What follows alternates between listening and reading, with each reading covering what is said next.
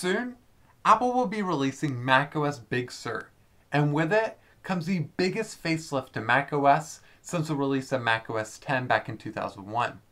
Love it or hate it, macOS will start borrowing the design language of iOS, including iOS's boxy icon style.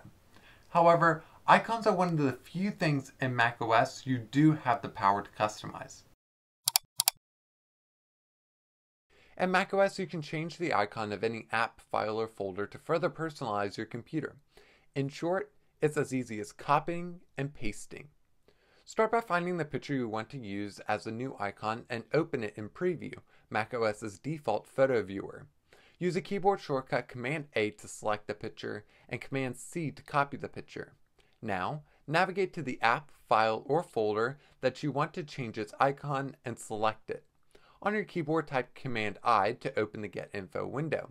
Get Info will tell you all sorts of information about the selected file, but what we want to focus on is the icon. If you click on the icon in the top left of the Get Info window, you will see a blue outline appear around it. Now that the icon is selected, use a keyboard shortcut Command V to paste the picture, and that's how you change an icon. If you don't like how it turned out, you may want to make some adjustments, all of which you can do in Preview. One thing you can try is cropping the image to focus more on the subject. To crop, use a keyboard shortcut Command A to select the image, then use the blue dots around the image to select the parts you want to keep. Once you've made your selection, use a keyboard shortcut Command K to crop the image. Under the Tools tab, there are many other properties you can play with, such as color adjustments, size, and annotating. Play around with it and design your icon exactly how you want it. Then repeat the steps for changing an icon.